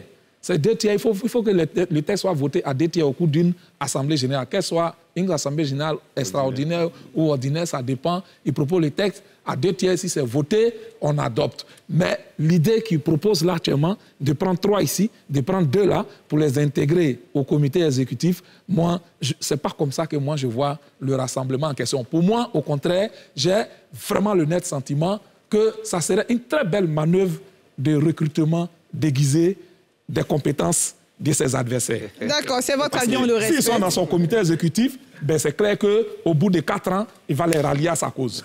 Ça, ok. c'est clair. Babou Eric, rapidement, et on va passer à un autre écoutez, point. Je pense qu'il ne faut pas qu'on se disperse. Mm. Aujourd'hui, les problèmes que doivent euh, résoudre le nouveau président de la fédération, ce n'est pas de faire plaisir à Didier ou bien de faire plaisir à quiconque. Son gros problème aujourd'hui, il a été élu pour régler quoi? Où on en était Quels sont les problèmes que rencontre le football ivoirien il doit apporter ces solutions-là. C'est là où on l'attend. C'est pas d'augmenter. Il euh, ne faut pas nous, faut pas nous distraire avec tout cela. Ce qu'on attend aujourd'hui. Vous, c'est de la distraction. Oui, je pense qu'on a des sujets plus importants. Comment les joueurs se vont manger Comment on pourra aller au terrain Aujourd'hui, il y a un gros défi. Le peuple ivoirien n'a pas été pris en compte. Ils estiment qu'ils n'ont pas été pris en compte dans cette élection. Aujourd'hui, la démonstration de force qui a eu lieu au stade Champroux, Lys contre euh, la SEC, et après tout ce qui est en train de se passer autour de Lys, le peuple est en train de s'exprimer. Le, peuple est en train de dire quelque chose. Parce qu'ils estiment qu'ils n'ont pas été pris en compte. C'est un gros problème, parce qu'ils doivent ramener les, spectateurs dans les stades. Parce que depuis un moment, depuis des années, nous qui sommes tout le temps au terrain, on constate que les terrains sont déserts. Donc il a des gros challenges. Est-ce que, l'affaire des 4 milliards fait partie de ces challenges-là, d'après vous? Eh ben, je ne souhaiterais pas, je souhaiterais pas rentrer dedans mhm. parce que je pense que ça va se régler à un autre niveau, qui est peut-être supérieur à, notre niveau. Mais il a été élu. Aujourd'hui, on connaît les problèmes du football ivoirien. Il a été élu pour résoudre les problèmes du football ivoirien. Et il doit s'y atteler immédiatement. Et son gros problème, je le répète, c'est comment apaiser le peuple. les supporters ivoiriens. Parce qu'on disait tantôt que les, stades sont vides parce qu'il y a un désintéressement, les, les, Ivoiriens n'aiment plus le football ivoirien. Et démonstration de force. Et comment ramener tout ce monde là au terrain? C'est un gros challenge. Voilà où on l'attend. Ah non, c'est assez oui. Détail important, lors de la passation des charges, on a vu Diamamadou, qui est proche de la team Didier Drouba, il était présent. Et, et j'ai demandé, proche de la team Souri Diabaté, était présent. Moi, je salue cet esprit. Et comme Babou le dit, je pense que le peuple s'est exprimé à travers l'île de Sassandra, mais les clubs ivoiriens aussi doivent s'organiser. Parce que quand on voit, on parle de supporters, Africa Sport d'Abidjan, ce sont les membres. On s'organise. Ce n'est pas un président de fédération qui va mobiliser les supporters. Il ne faudrait pas qu'on monte aux Ivoiriens. Ce sont les clubs qui doivent s'organiser dans les quartiers, créer des, des, fan clubs et autres pour mobiliser. Mais quand vous avez des clubs, comme un club comme Sio Korogo, qui est limité à trois personnes parce que c'est la famille de Ouattara Bakari, vous pensez que les gens de Korogo vont aller au, terrain? Non, il faut intéresser la population de Korogo. Ça, c'est un schéma qui doit être mené, mais Idriss Diallo, qui est le président de la fédération, doit organiser les matchs doit payer les primes des habits, tout doit être organisé pour que l'Africa puisse jouer, pour que Abasso puisse jouer. C'est ça son rôle. Mais pour que les gens partent au terrain, et comme aux, dirigeants du club et au club. D'accord. Messieurs, nous, nous, allons vers la fin de cette émission et je vais vous poser le thème principal qui nous a réunis ici euh, ce soir. Euh, on a donc un président de la Fédération ivoirienne de football. Est-ce que nous sommes à la fin de la crise? Dans le football ivoirien. Je commence par vous, à la fin. Oui, c'est le début de la fin de la crise. le, début, de la, fin, de la crise, c'est un soulagement. Comme euh, je l'ai dit tout à l'heure, on ne va pas revenir sur, le passé. Annonce a eu tendance à vouloir dire les gens voulaient exclure un candidat. Vous avez vu, les tests ont changé pour que tout le monde puisse être candidat. Ce qui signifie que l'application stricte des tests de l'époque ne permettait pas justement cela. Donc, il ne faut pas dire on voulait exclure, on voulait exclure. Je salue la situation nouvelle. On félicite Idriss Diallo. On souhaite un retour de l'apaisement. On souhaite que les supporters aussi qui reviennent au stade s'organisent de plus en plus. Qu'ils comprennent, au-delà des présidents de club, qu'il faut acheter sa carte de supporter, qu'il faut non seulement aller au stade, mais qu'il faut militer dans des clubs. C'est comme des partis politiques. Il faut acheter sa carte, il faut militer. Et puis lorsqu'on élit le président, euh, tu vas pour son élection et tu choisis un président qui peut aussi choisir ton candidat à la FIF. Il ne faut pas rester là seulement à bavarder à gauche, à droite. Il faut militer dans les clubs, il faut choisir, il faut être actif. Il ne faut pas être simplement supporter des éléphants. On a maintenant des supporters listes de l'Africa, de l'ACE, d'Aboisseau, de partout. Mais ces supporters doivent acheter leurs cartes, ils doivent participer à la vie de leur club et ils doivent participer aux AG, les exiger exiger que les clubs fassent les AG conformément au test, choisir des présidents qui peuvent choisir de bons présidents de fédération. Voici la solution pour que le football ait une véritable paix durable et qu'on ait un fair play durable et que les dérives qu'on a connues dans ces périodes-là n'existent plus aussi. D'accord. Magua Diop, pour vous. La fin de la crise. Je serais tenté de dire quelle crise? Parce que moi, je ne connais pas de crise si ce n'est celle qui a éclaté à la suite de, la défaite face au Maroc, ici à Abidjan, dans le cadre des éliminatoires du Mondial 2018, où le GIS a été créé. Ceux-là même qui ont, qui ont provoqué la crise, c'est eux qui sont aujourd'hui à la FIF. Est-ce qu'il faut comprendre par là que, comme c'est eux qui ont provoqué la crise et qu'aujourd'hui ils sont à la manette, donc la crise est terminée Si tel est le cas, je l'espère.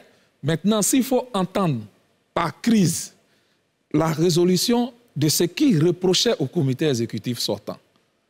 C'est-à-dire une gestion, ce sont les arguments qu'ils avançaient, mhm. une gestion unilatérale, pas de consultation, manque de transparence, mauvaise euh, euh, euh, gouvernance. C'est ça qu'ils reprochaient au comité exécutif sortant.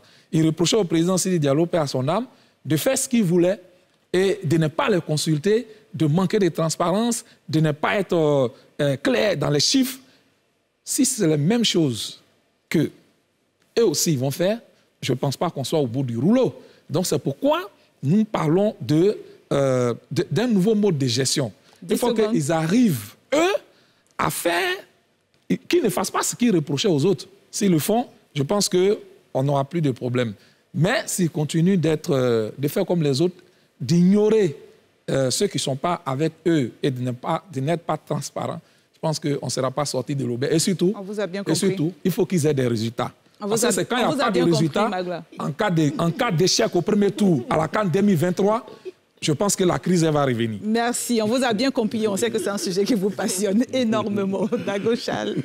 C'est un homme politique ivoirien qui disait que c'est toujours l'opposition qui crée des palabres. Et donc, euh, si on suit bien mon propos, et on, vient d'écouter Magloire Diop, ça voudrait dire que ce sera ceux qui sont dans l'opposition de cette fédération qui vont certainement créer des palabres. Mais je pense que là, au niveau du comité, au niveau des statuts, euh, des nouveaux statuts de la Fédération ivoirienne de football, on vient de mettre en place une commission de gouvernance. J'espère seulement que l'équité va habiter euh, les hommes qui vont animer cette commission, de sorte que voilà, la fédération soit bien gérée. Parce que c'est ça aussi. C'est ce qu'ils ont reproché effectivement au comité exécutif euh, sorti. Donc j'espère que les choses vont dans ce sens-là et que bon, mais les uns et les autres vont travailler la main dans la main pour que effectivement on n'ait pas à revivre une quelconque crise encore. Merci. Annonciation, oui. Oui, la crise a pris fin avec l'élection du nouveau président et on a, on a des acquis aussi, euh, une commission de gouvernance, d'audit et de conformité. Et on a un régisseur qui à la fédération maintenant, qui va euh, contrôler les fonds qui seront mis à la disposition de la fédération par le biais de l'État de Côte d'Ivoire. C'est une avancée notoire, puisqu'on a décrié cette mauvaise gouvernance. Je pense qu'on a un pas. Le président aujourd'hui, il a aussi la population qui le suivait comme de, de, l'air sur le feu. Donc je pense que tout cela mis dans l'autre, on peut avancer et on espère que le football ivoirien se portera bien. D'accord. Zoum Diakité. Le football ivoirien a connu un long soubresaut. Mhm. Euh, aujourd'hui, le président Yassine Idriss parle de pacification et de solidarité. On nous espérait qu'il trouvera les arguments pour véritablement unir euh, toute la grande famille du football en Côte d'Ivoire. Mais il y a une autre crise qui est née, il ne faut pas l'oublier. Même si, même si euh, au niveau des dirigeants, au niveau des clubs, il peut y avoir donc pacification, mais il y a cette crise qui oppose aujourd'hui le public à la fédération. Le public ne se reconnaît pas en cette fédération. Alors il va falloir à cette fédération de mener ce combat-là en allant vers le public. C'est désamour qui est né, qui est, né entre euh, cette fédération et les acteurs et les supporters. Aujourd'hui, la SEC a joué aujourd'hui, ce n'est pas le public de la SEC qu'on connaît.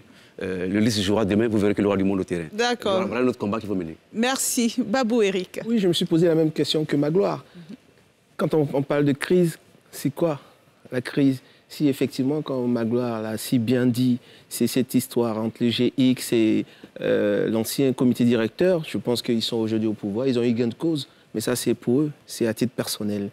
La crise du football ivoirien, celle dont on doit parler, c'est comment vivent les joueurs, comment faire pour que ces équipes-là ivoiriennes soient performantes, parce qu'en football, on parle de performance. Maintenant, gérer la fédération, tout ça, c'est vraiment des choses, on va dire, on est dans l'élite. Mais la réalité aujourd'hui, le problème à résoudre, c'est comment faire pour que le football ivoirien retrouve son statut, cette performance, ces joueurs-là soient à l'abri du besoin. C'est ça la réalité du, problème. Si ça, n'est pas réglé, je ne sais pas qu'est-ce qu'on aura réglé. D'accord, ok. Merci, messieurs, d'être venus à cette émission. Nous sommes donc à la fin de ce numéro de NCI 360 euh, et merci à tous les téléspectateurs qui nous suivent. Euh, le dimanche prochain, vous serez avec Ali Diarasouba. Très bonne suite de programmes sur la nouvelle chaîne ivoirienne et à très bientôt.